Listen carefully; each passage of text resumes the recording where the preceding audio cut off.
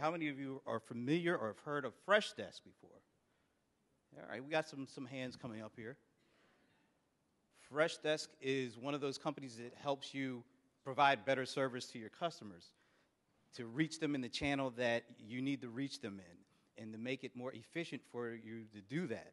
So I am pleased to have our title sponsor, uh, uh, Dilawar Syed from Freshdesk. He's the president of Freshdesk. And uh, Dilawar, um, you guys have raised $94 million or so over the couple of years. You've been out since 2010. You have over 50,000 customers from big to small. They're spread out all over the world.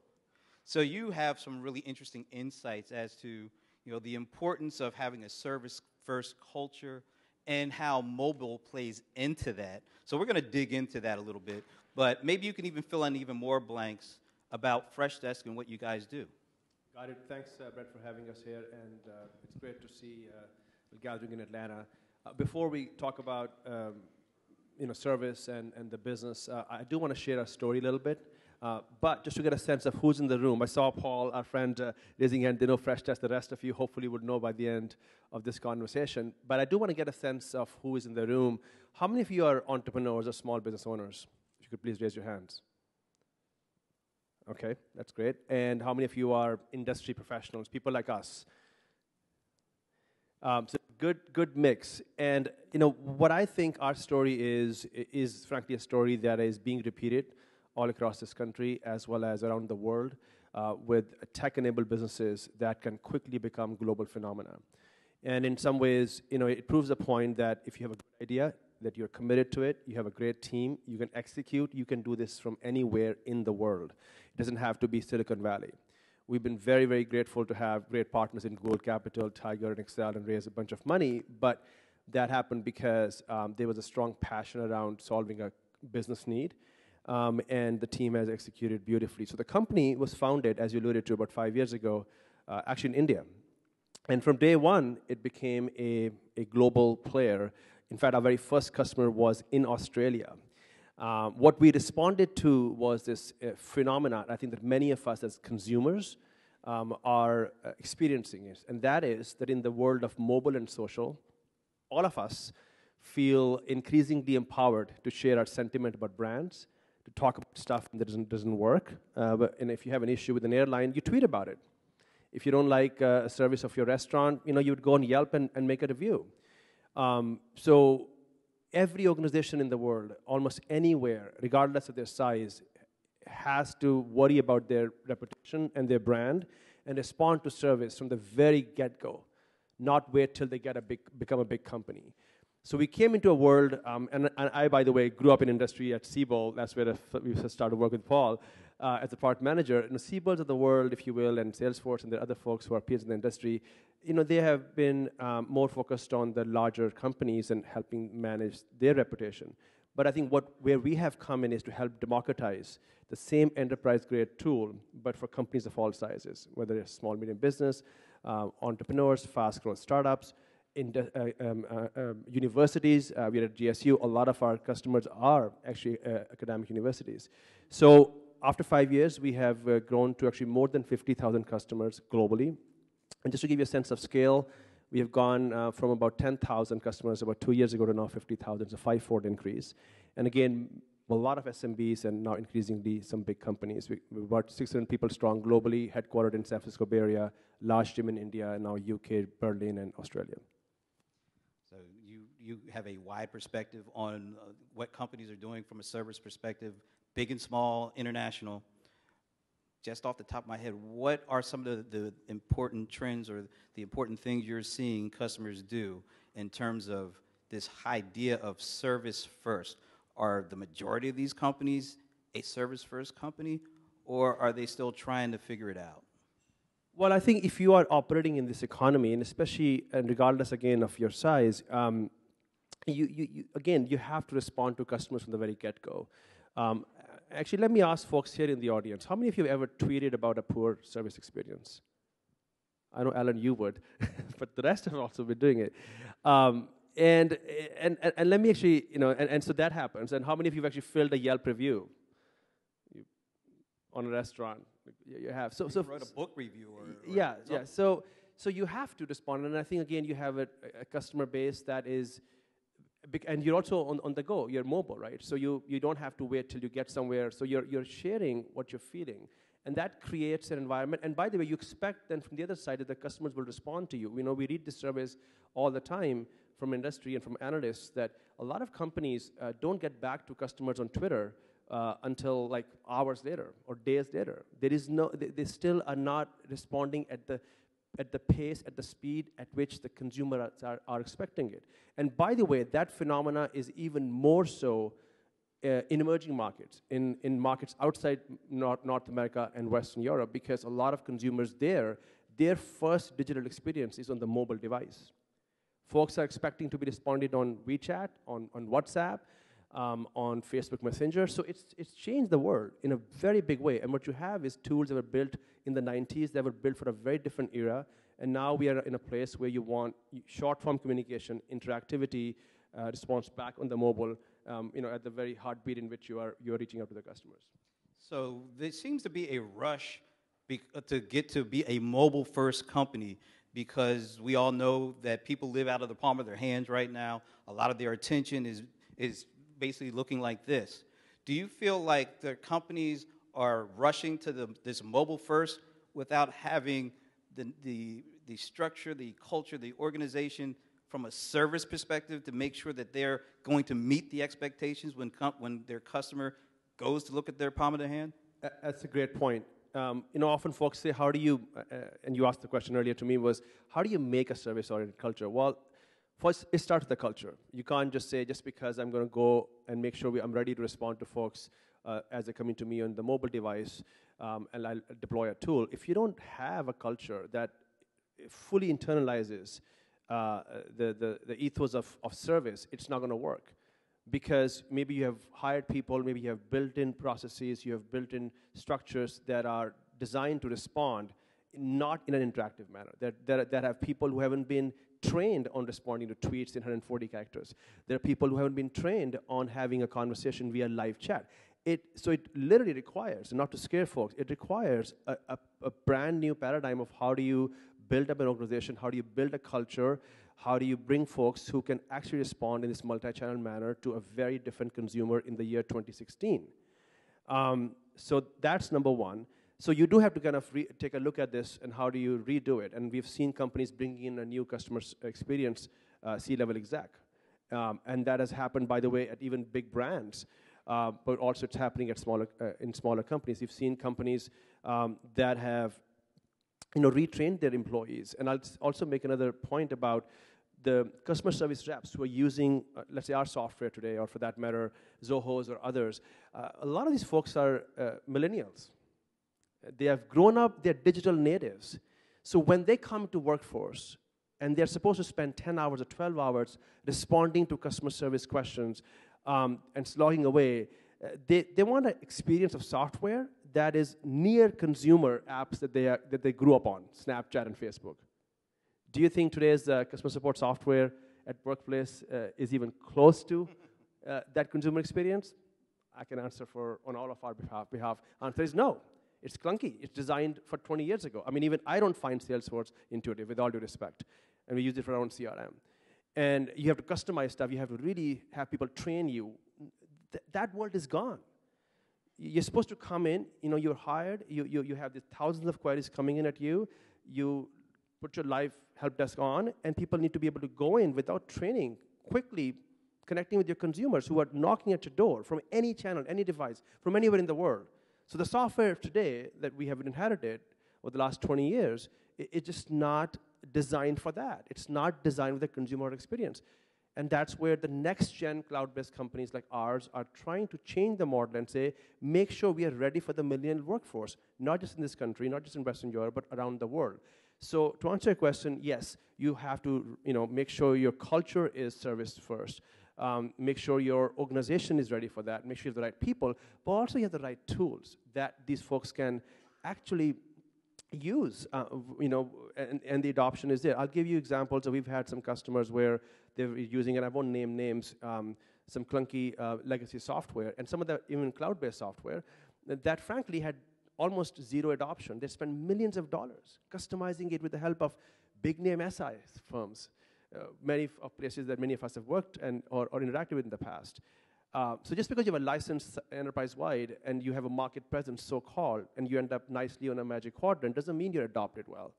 Uh, when you go inside and you see that you have now 60,000 employees of a major consumer packaged goods company in the world, and most of them are millennials, and they don't use it, um, and they actually go and sign up online with a tool like Freshdesk, you've got some thinking to do internally as a CIO, as a company, and say, well, let's make sure not only we, we, we are giving them the tools that they, are, they can use easily, but also are not wasting you know, our hard-earned dollars as a company. And I think that's where you see companies like Bosk, Box, Dropbox, Freshdesk, Constant Contact. We are changing the game by entering the enterprises, um, you know, with a departmental level, team level, or Slack for that matter, um, in our strategy, and then disrupting. And often it's proliferating across the organization without even sometimes, you know, frankly, having a big IT uh, contract in place. So it, it's a new world. It's an exciting world. Um, by the way, it also means that we, we have to have our feet on fire because our products have to work seamlessly for a larger audience, for a, for a smaller company. And while it's simple in its use and setup, it cannot still com uh, uh, compromise on the complexity of the enterprise processes. Just because you're simple and easy to use doesn't mean that you can't help a, a, a complex business process. Uh, and of course, I come from, a, from that world. I worked at Siebel and SAP back in the day, so I appreciate what that means. But at the same time, uh, those experiences are no longer relevant in, uh, in today's world. Let's talk about customers are driving a lot of changes the, the, way that they want to interact with the company. They're, they're driving it. A lot of that comes through marketing, and a lot of it comes through service. How is the relationship of the service folks and the marketing folks changing because of what's taking place with customers and technologies and the way they're adopting it? So, you know, I think customer support is the new marketing. And I'll say it again customer support is the new marketing, especially in the world of mobile.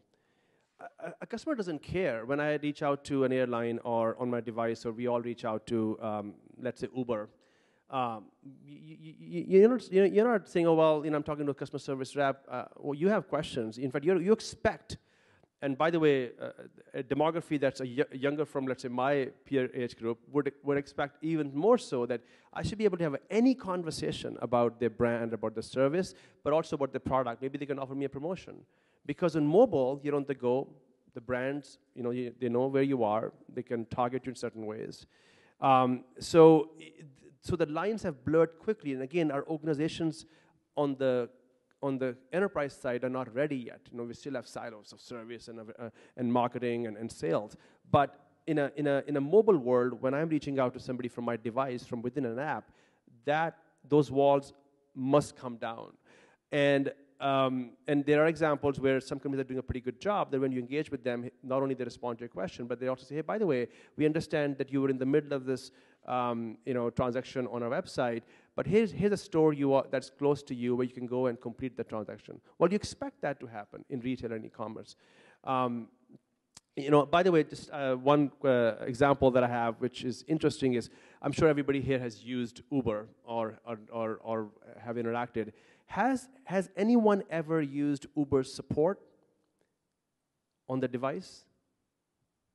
You have and uh, the rest of you have not. But let me sort of describe for you what happens, and I'll use that point to illustrate that even in the case of mobile companies built for the mobile uh, devices and mobile world, we still have to go so far. So what happens with Uber is that let's say you, you, you, you take a trip, and your driver, actually you, you, you book a trip, but your driver doesn't show up, but you get a charge. Um, you know, you reach out and say, hey, by the way, uh, I shouldn't be, I should have not been charged because the driver never showed up. So you go to the Uber app and you click on support, and it immediately takes you to your last transaction.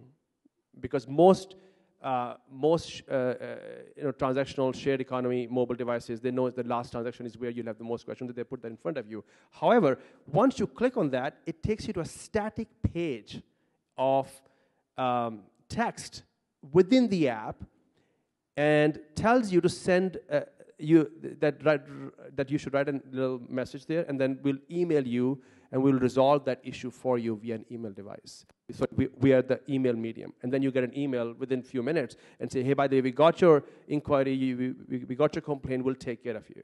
However, let me ask you, do you expect that that from Uber, which is actually an app, mobile app, the whole business is the mobile app, that you should be having, uh, that you should not be resolving your support issue um, within the app?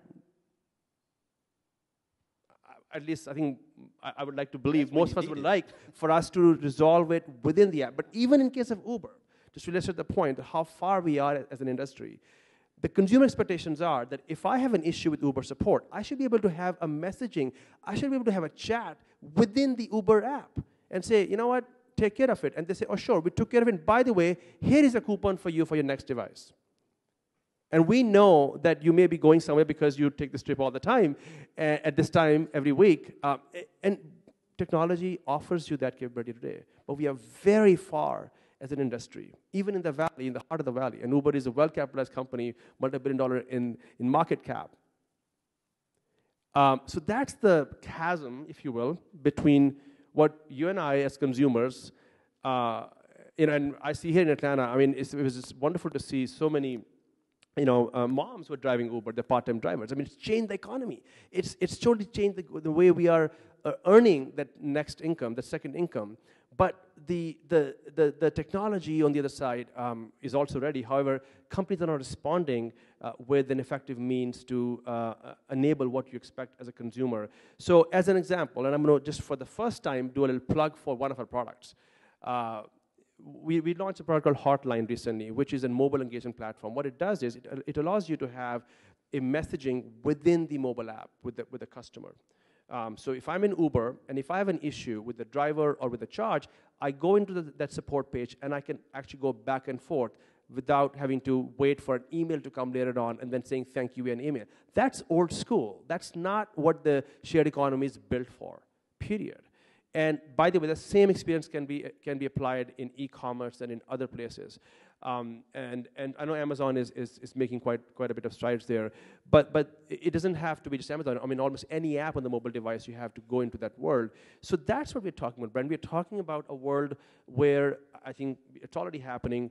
Uh, you know, in the near, very near future, we're going to be experiencing our, our shopping experiences, our academic experiences, our tra travel transportation, all via the mobile devices, all via the apps. And we would expect to have a, a seamless communication with brands about service, but also expect that they will uh, help me with my shopping um, um, you know, experience. They will help me with perhaps pointing me to, me to a better offer or, or sharing with me some content that can help me make a, a more informed purchase, all within that same conversation.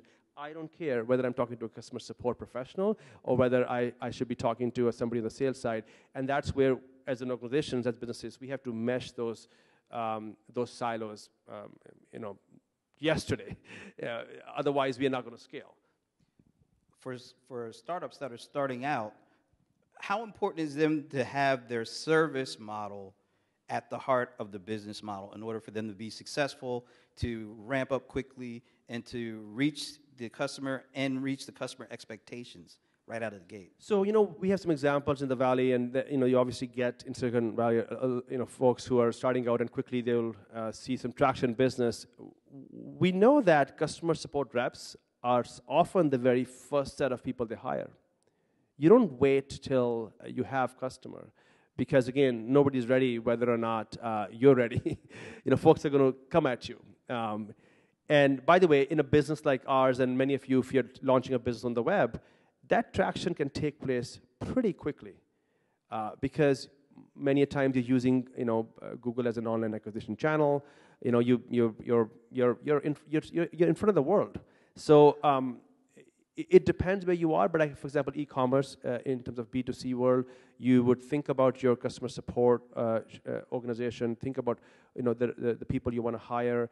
Uh, initially, it might be a couple people, let's say, depending on where you are, but you want to think about um, scaling that pretty quickly. I mean, we saw just in our business, the overall ticket volume um, doubled, if not tripled, year over year. I mean, as the number of customers went up, the, the number of tickets, the number of conversations um, actually was uh, order of magnitude even faster uh, in growth.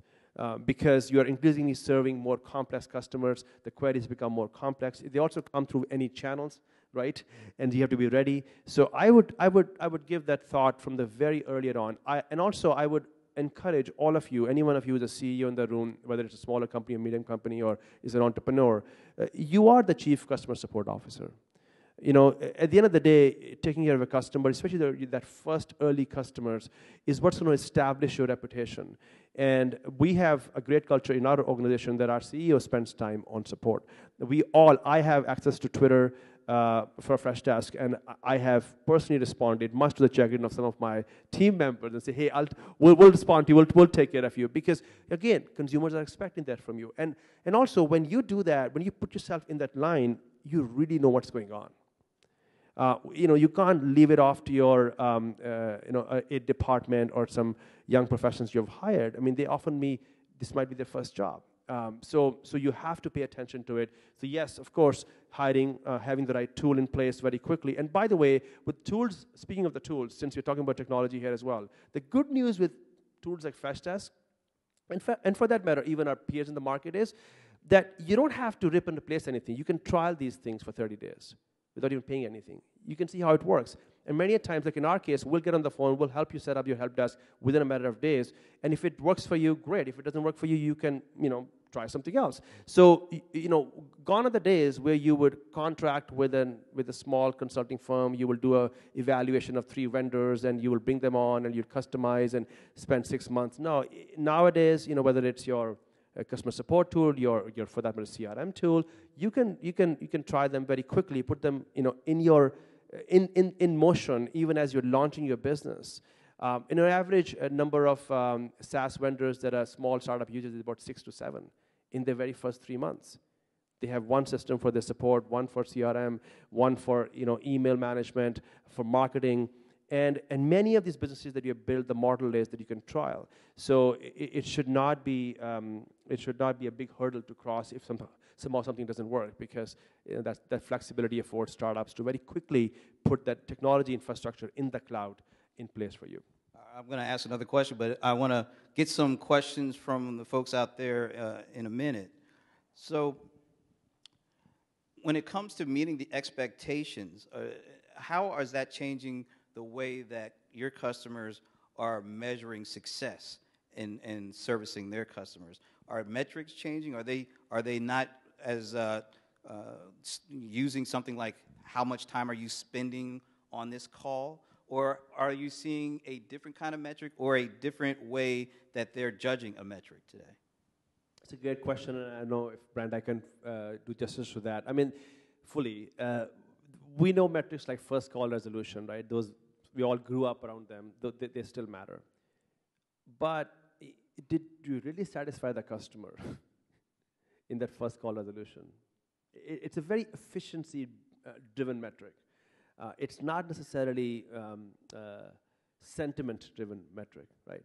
And again, going back to the fact that we are in a world of sentiment now, which can be expressed anywhere, anytime, through any device, by anybody in the world you have to pay attention to it. So I, I don't think, I, I, personally don't believe there is a playbook for like five metrics that all organizations must adopt because it depends. It depends. And you know, especially if you're an entrepreneur, you know exactly where the pain is, where the delight is for your customers. So you want to measure not just the first call resolution or the first you know, inquiry resolution, but rather, you know, how happy people were. So surveys do matter, right? Pe you know, some sort of free form communication with the customers do matter. Um, and, and, there are ways to, to build that. You can also benchmark yourself through SPS with your NPS using your peers in the industry and see how you are tracking. Um, and uh, so, again, I, I, I, would just caution to not just use metrics that are designed for internal efficiencies, mostly cost driven, frankly, and this is the world of the 90s. but I would, uh, I would uh, think about metrics that are more driven from sentiment and customer happiness and delight because the, the, customer sentiment is infectious in this, in this world. And, and good or bad, it will, it will go down. You know, my favorite example is I, a, a, couple of years ago, somebody had a bad experience uh, with British Airways, and this individual actually tweeted it, not just did that, but actually promoted his tweet. He was so mad that he he he spent some money on Twitter, and he actually put it on on the web, and it just took off like crazy. And he was pretty colorful in his language, um, and, and, so that's the world you're in. I mean, I mean, it's it's it's, and it happens, you know, a lot. Uh, sometimes we have done that too, uh, in in some ways. So. Uh, that's my sort of high-level response to it. Is a different frame around metrics. Any questions out there? I want to do my uh, my walk around and come down and you know do like the talk show host thing. So does anybody have a question? I'm gonna Oh, I, anybody, anybody, any takers, any takers? Because I got other questions I can ask. You know, I, Amazon is a. Uh, we've heard Amazon. Oh, okay. As I take the long way, Amazon is a company that a lot of us don't think I, I can do it. But you're, you know, he's helpful. But I, am going to do my, you know. I'll ask my Amazon question later. Rick Lee, ICS. Uh, I like what you said about customer service being the new marketing. And as a follow up to that, the biggest challenge that I see is when you're dealing with customer service, what role do you see them playing in educating the client or the consumer? I'm from DC, and we had a, a model, this was back in the 90s, I don't want to date myself, but it said uh, the educated consumer is our best client. And so, how do you see the role of customer service educating your customers and your clients? Great question. Um, how do you see the role of customer service uh, uh, professionals educating the consumer? I think the role is a shared responsibility, honestly, um, because now there are ways you can educate the customer not just through the help of a customer service individual, but what what content you share, what knowledge you share. Self-service, by the way, you know, still is is the place where you want to drive people to, right? There are you know, Apple is uh, a, brand all of us uh, live by on a daily basis. Um, but it's a brand they've built around a self-service, peer-to-peer uh, service community paradigm. And there they've managed to, if you will, educate the world some, uh, to, to, some extent, or to large extent, about their products, uh, without necessarily individuals walking people through their devices. Uh, yes, they have a nice service mindset when you walk into a store, but the stores are very few, far and few in between. So I, I, completely agree that you have to think about education, but it's not. I, I, I, think it's more than just walking people through something. You know, there's technologies, by the way, you know, screen sharing or co-browsing that allows you to walk people through. But if you're talking about, you know, even beyond um, an issue, uh, uh, when you come in contact with a customer, you know, there's ways to push content to customers. There's ways to share content. There's ways to drive customers to, you know, self-service through any, by the way, device. Again, should be done on mobile even more effectively than it is being done today. Um, Google is, a, is another example. Google has World of Web Scale business for advertising, and you never talk to a human being. And actually, recently we hosted at, in San Francisco one of our events at Freshdesk, uh, the head of Google Customer Experience. And what Mike was sharing with us was that they've done a lot of, um, and Google can afford to do this. They've done some experiments uh, on, uh, on on sort of engaging with customers and making sure what content works with them. And over time, even without employing people in the line of the conversation, through just self-service content, through just putting good tutorials um, and do making use of surveys, they've managed to build a set of uh, responses that are pretty accurate there's also machine learning that goes, you know, in the process of that. So yes, the role is there, but I think eh, I wouldn't want to simplify that. That, that what that means is that you know your service reps spend a lot of their time educating people through, but rather you have to make use of content. And let me also say this: not just reactive content; it's also proactive content we know enough about our customers that we can push out certain things and say, hey, by the way, you know, here are a few stories. And again, and especially in the B2B world, that could actually uh, make a difference as well. I hope I answered your question. Sure. Chuck Carey, Revenue Sphere. Um, what do you see going forward in the area of um, telephone response? In other words, one of the things that I hate, and I know that I've heard from a lot of consumers, is they call up someone and they have to go through this telephone click through, click through, click through to, to, before they can even talk to anybody. And it's really, really frustrating. Do you see a, a trend going back to more human intervention? It's a great question, Chuck. And, I, and uh, let me respond a couple of things. Obviously, all of us have had frustrations with that. um, the way that's managed. So two things are happening. One, uh, by the way, telephone is still, phone is still a primary channel. Yes, on, on, on average, there is more shift towards uh, more interactive channels. That's a chat um, and self-service versus phone and email, but phone is still, you know, a key channel. So it's not going away probably in our lifetime anytime soon. However, uh, there is some hope. Um, it's not just the, I mean, we are relying today on IVR technology. You know, you press one and two, and then, you know, you may still talk to somebody who says, oh, by the way, I'm the wrong person, or I don't know enough about it.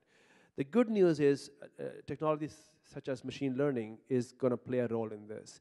So we, for example, recently acquired a company which will allow us to, um, to look at the transcript uh, data, uh, to look at the email text between our customers and us and be able to, based on that text, point to the right person within our organization who knows something more about a certain topic than someone else.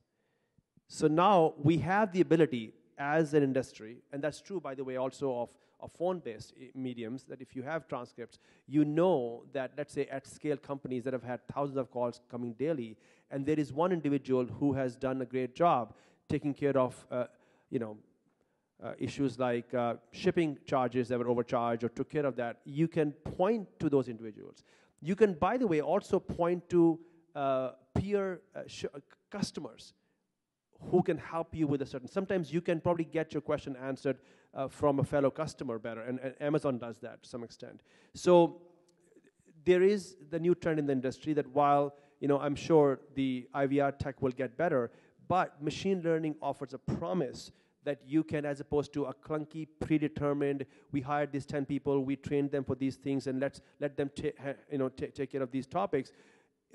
In a more fluid manner, if you see that there are certain folks who are better suited or are more experts in a certain topic, you route the calls to them.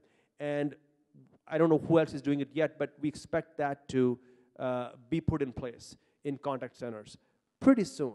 Um, and so that's just one, one example I have where, you know, from our vantage point, uh, what we are doing, that will happen. So just so you know, by the way, Freshdesk, we also have a phone channel. So you know, it's multi-channel, so folks can reach, reach out to companies that are using Freshdesk and also use the phone. And we're going to be able to uh, deploy some of the machine learning that we're talking about to our voice transcripts as well.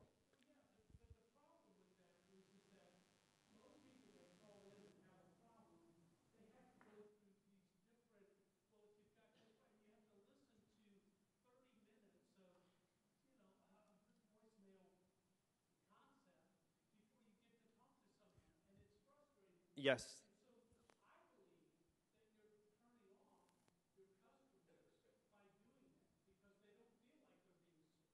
Absolutely, and that's why, that's precisely why uh, that channel is clunky for the new world, and it's not going to work in some cases. That's why these things are shifting towards live chat. You know, you say, I don't have time for this. I just want to go message back and forth. So but I was just responding to that even as the shift is happening, some companies won't let go of phone, but the phone itself will get better. But the reality is, you're absolutely correct. People are frustrated. We all are frustrated. And that's why live chat is one of the fastest growing channels. Um, everybody wants to have near-term communication. And I was giving you an extreme example that even in the case of Uber, which is built for the new world, it still doesn't have an interactive channel, right? So we have to go a long ways. But we do know, for example, in our business, we have 50,000 customers north of that, well north of that. But um, the, the live chat medium is the fastest growing medium across all our channels. Uh, because people don't want to deal, and by the way, often we don't want to deal with another sort of conversation. We just want to, while we're on the go, get something going. And, but even in case of chat, you have to be able to route it to the right person. So that problem doesn't go away necessarily, right? so that's why I was saying there is a better way to now, in a more scientific manner, using the conversations that have taken place. And there's a ton of this data in unstructured text that now we have technology that allows us to say, you know what, we do know this, these couple of individuals have been really good at taking care of this stuff. We're going to route you to them. And by the way, there's also a fellow customer in your area who dealt with the same issue three months ago. Maybe you can also have a chat in, a, in an anonymous manner all those technologies are available today. And um, you know, we are going to roll them out in our product over the next few months, but I think uh, you'll see hopefully other companies doing the same. Um, Travis Colley at Core Systems. Um, is customer service really considered answering one question or one touch, or is it more of predicting what future problems can come up? And how far does that engagement have to go, or would you consider it too much engagement to the point where, okay, you answered my question, but you're trying to do too much, versus, okay, this is useful information and you answered my question? Could you elaborate what do you mean by too much? Too far down the line. Like, if it's getting to a point where the problem hasn't come up yet and it's not foreseeable, um, but you keep pushing, like, this may come up, even though it hasn't, but it may, and you keep saying it may, but that it hasn't. That's a great problem to have for us as consumers. Um, okay, it's a pretty broad question. I, I, well, first of all, yes, there is a shift. There's a move definitely towards more predictive versus reactive. And again, we are we expect that as consumers. Like you know, we we, we all know intuitively that you know enough about me to be able to proactively push stuff to me. Um, but would we get tired of that? Probably not. The good news about when you push things proactively, it's at your, it's on demand. Nobody's, it's, if it's not invasive, it's coming through an email, or if it's coming through um, a medium that doesn't force you to pick up a phone, you don't mind. So I don't, I don't know if, if that would be an issue, but definitely, for sure, things are moving in a much more predictive manner because you know so much about customers. Um, I mean, you also know, for example, if I have shopped something from, let's say, Brooks Brothers, um, as an example, last three times, and I have had an issue or two, maybe they, had, do, do they know enough about me now to say, hey, by the way, you know, for this time for your shipping or for your return, here is our, we are, we are reviewing the, uh, our return policy for you, just so you know what it is. I mean, this is something that's doable today. Companies don't do it because the culture doesn't exist there.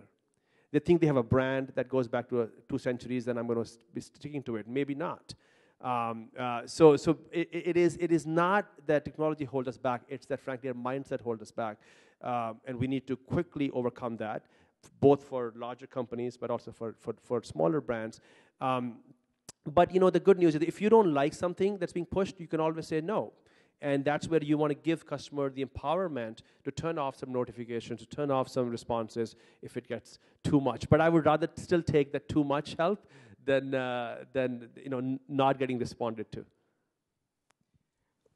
Let's wrap up, and I want to get your uh, last thoughts about what should we be on the lookout for uh, in terms of customer expectation, ex- expectations being met with technology. What is the channel, the upcoming channel, that may not be that relevant right now, but you see in the next year or so that we're definitely going to have to be aware of because that's where customers are going? I think overall, short form communication, whether it's text, whether it's messaging, is just has to become our. If you just look at our daily lives, we are constantly communicating with our loved ones. Uh, actually, sometimes even more than text and the phone. People don't pick up the phone anymore like including my kids. Like they, they would prefer to have this text. These are the consumers of today and future. And, and to your point, they're not going to go on a phone and spend 30 minutes getting to the right person.